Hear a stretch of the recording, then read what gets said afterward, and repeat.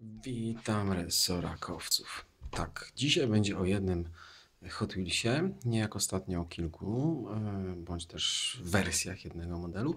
Tym razem będzie bardzo fajny Hot Wheels, który udało mi się naprawdę wyszperać w koszu w Leclercu. E, to jest mianowicie, uwaga, czy to już widzicie? Tak, to jest Treasure Hunt. E, model nazywa się Cool Combi, Volkswagen Cool, cool.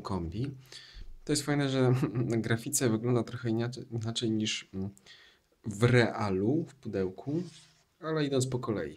73250 to jest edycja na 2015 rok. Jest oczywiście logotyp Volkswagena, czyli wszystko licencja, wszystko się ładnie, pięknie zgadza. Ten model, ten Cool Combi Volkswagen wychodzi 2013 roku i pojawia się już mniej więcej w 5-6 odsłonach różnych kolorystycznych, właśnie między innymi takiej białej, pomarańczowej, e, mniej lub bardziej rozbudowanych malowaniach. Ale na ten rok wyszedł Treasure Hunt, który, no to jest właściwie super Treasure Hunt, e, czyli taki trochę bardziej upgrade'owany e, Treasure Hunt, który jest bardzo fajnie wykończony. Oprócz tego, że ma ten zielony, fajny, taki ciemny, butelkowy kolor, ma przezroczyste szyby, Środek, nie wiem czy to widać, bo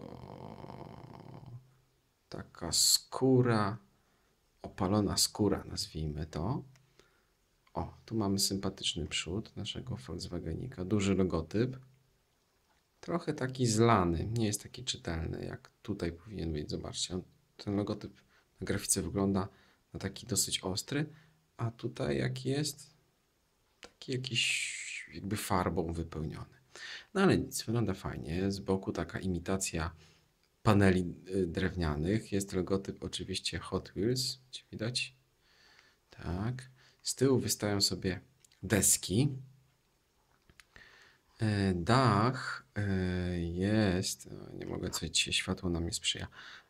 Dach jest taki imitujący prezentowy, czyli można go sobie było pewnie w realu by odsunąć.